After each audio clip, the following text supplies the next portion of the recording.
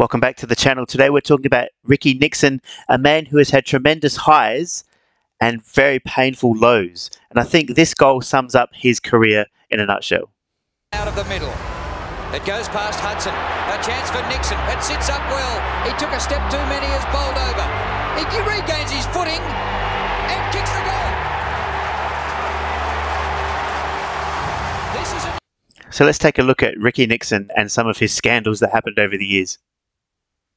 If you're watching this video, I'm going to assume you already know who he is and what he's done in the past. He's the sports agent, played AFL for Hawthorn and St Kilda, and then had a few scandals along the way. That's what we're going to discuss today.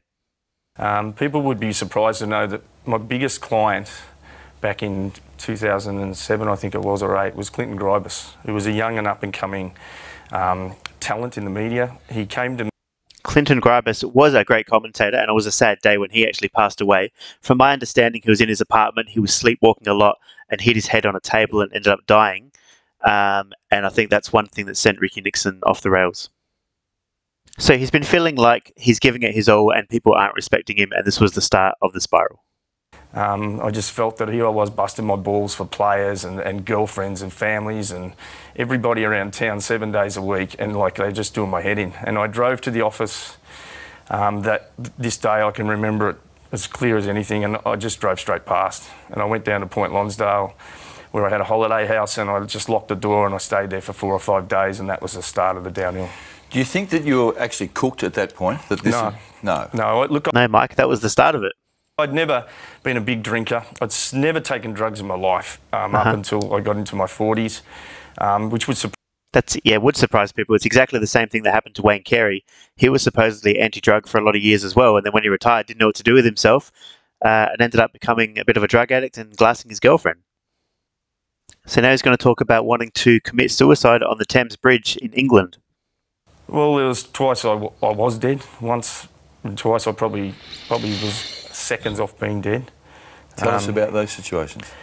When the hotel incident happened, um, This is with the so-called St Kilda yeah. schoolgirl, correct? once again, contrary to what's reported in the media, that I fled the country and everything, I was already going to Ireland. I go to Ireland every late February to look at the talent. They play um, university games over there.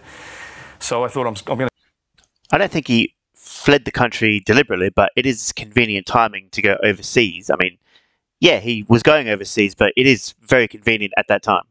go get out of here and try and sort this out in my head. But uh, you know, I was I was bamboozled by what had happened a lot because I was drugged in a hotel room, and I didn't You, know you were a dra- lot you what, self-administered or, or inflicted upon you? inflicted upon me, and I have evidence to support that now.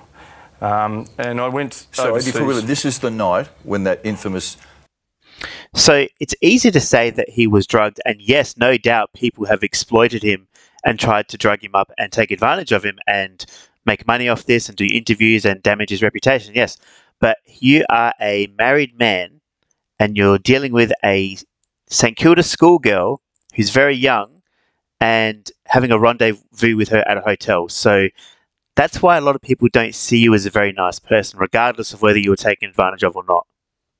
Picture was taken that Correct. appeared in the Herald Sun, correct? Yes. Okay, yeah. um, so And the Herald Sun are scumbags, so they don't care. got on a plane, and to get to Ireland, you've got to go through um, the UK or through London, Heathrow. When I got there, a good friend of mine, Matt Tripp and Paul Stokey, um, who have been very good to me through this period, uh, basically said, "Stay here, don't go to Ireland. The media will be there." So, unfortunately for me, they uh, they left the next day. They were there on business, and um, that was ten days of an absolute blur.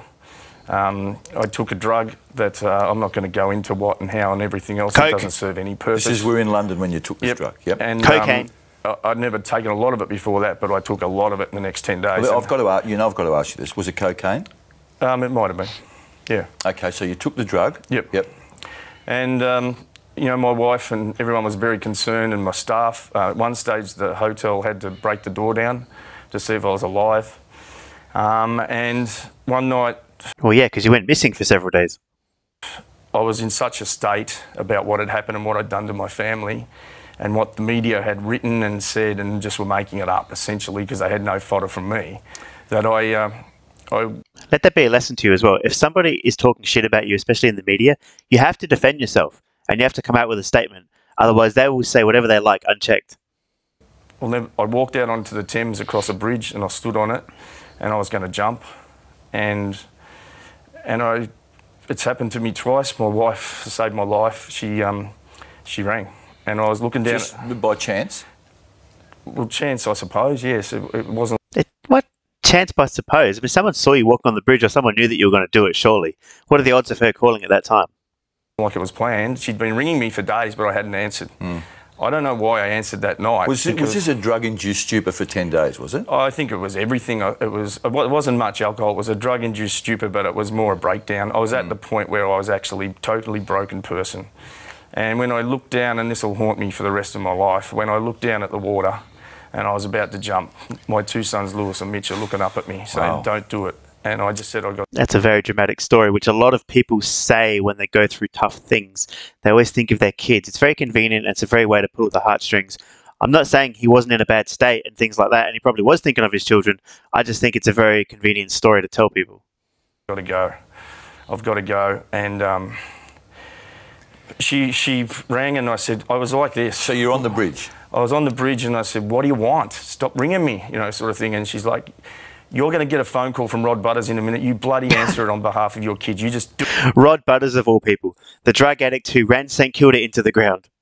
Do it." And she hung up. And I'm like. And I just, before I knew it, the phone was ringing. It was Rod Butterss. And I knew Rod, not well, but knew him.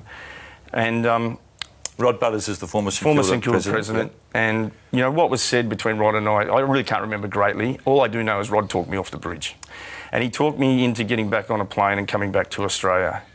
Did And he when- know? Did he know what your mental state was at the time? Oh, I think he just he just probably guessed, and he, and I believe he'd spoken to people at the AFL, perhaps even at the highest level, about trying to help me because everyone knew I was in a in a very delicate situation. I don't think anyone knew I was standing on a bridge about to jump.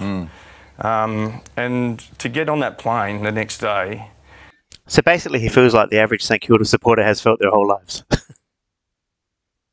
and now let's get into the St Kilda schoolgirl incident. Is that, I think that it's fair that the public know that you know to pay a female two hundred and fifty thousand dollars who's under that? the age of twenty, several media outlets, two in particular, TV networks. yeah, to I don't think anyone's going to dispute that the Herald Sun and TV networks are a bunch of scumbags. I think we'd all agree on that. lie, and who was found to be a pathological liar. Um, He just said she was a pathological liar, the schoolgirl. Remember, this girl is under 20, this man is married, and he's supposed to be the adult in this relationship, okay? You can't just blame it all on her. Like, you're the one who's initiating this and taking advantage of a girl who's barely an adult. So, you're in the wrong, bro. Like, yes, they may have set you up, but you walked right into it. at the end of the day, I look at it like this: I'm not going to give any more attention to someone like that. Um, I went to a hotel room and I shouldn't have. There's only one person to blame, and that's He didn't just do that, by the way.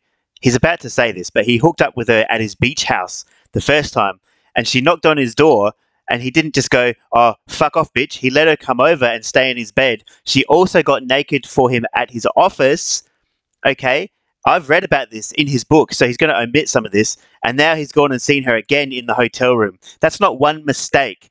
That is like several mistakes, and he'll blame it on the drugs and say, "Oh, I was in a stupor and all this sort of stuff. Didn't know what I was doing. I was ashamed of my family. I knew it was coming and all that." It's just a series of bad decisions. me. Can I let ask you people why you went there, though? Good question. Um, a person two weeks before that had had a um, had claimed to have a uh, drug overdose. It was proven she was found in a reception of a hotel and taken to hospital. I was down at uh, Point Lonsdale. Um, two weeks later, that same person rang and said she'd overdosed again. I went to the hotel room for that reason. I shouldn't have gone there. It was the damsel in distress situation. Wait a minute. He rang you up. She rang you up and said, "I'm overdosing." Wouldn't she be overdosing? How would she make the phone call? Wouldn't you call triple zero straight away? Um, I, I actually, on the way to that hotel room, I don't know why, said to myself, "This is a setup. You're, you're going down." But I was mentally in such a bad way, for a variety of reasons, that that compounded the whole whole travel or the journey to there. And uh, it sounds silly, but it's almost like I'm going here, just neck me, get it over and done with. Really? Mike didn't even question the fact that he just said she was overdosing. He didn't bother calling the ambulance. He thought, well, I can go down there, maybe get laid, right? Yeah. If, if in fact you someone did administer something to you that they shouldn't have, when did that happen? I believe it happened in the hotel room. I'm not going to go on about this, Mike, because I just don't feel it's appropriate to keep Uh, so was someone else there, or did she do it? It's like, oh, hey, Ricky, I'm overdosing. Want a drink? How about a scotch? going on and on about it. Uh, It happened three years ago, but I will say this: is that I rang my brother, uh, one of my brothers, um, who's in the police force, and I said to him, "I've been drugged." In the police force, his brother. So instead of investigating who the girl actually was in the first place, he's gone through all of this and let himself get put in this situation where it's destroyed his whole life. I've been drugged, and he said, "Get your ass out of there and get out of there now." And all I know was that I was found at some stage laying on the um, concourse outside Etihad Stadium. That's not And, and what do you mean, get out of there now? Why didn't your brother help you? Why didn't you, why didn't your brother come and pick you up? Reported. But weren't did the Herald Sun story said that you were seen leaving that hotel room the next morning and getting into your car it was three days later, not the next morning. three days later? I'd come. My wife will verify I was at home. I went back to the hotel room because Wait a minute. But there's so much stuff getting left out here. What do you mean, like you were home? Like, h- how did you get home? Like, did you contact your wife and say, hey, I'm just at this hotel room with this schoolgirl. Can you come and get me? Like, how did he get from there to home and then back to his car again?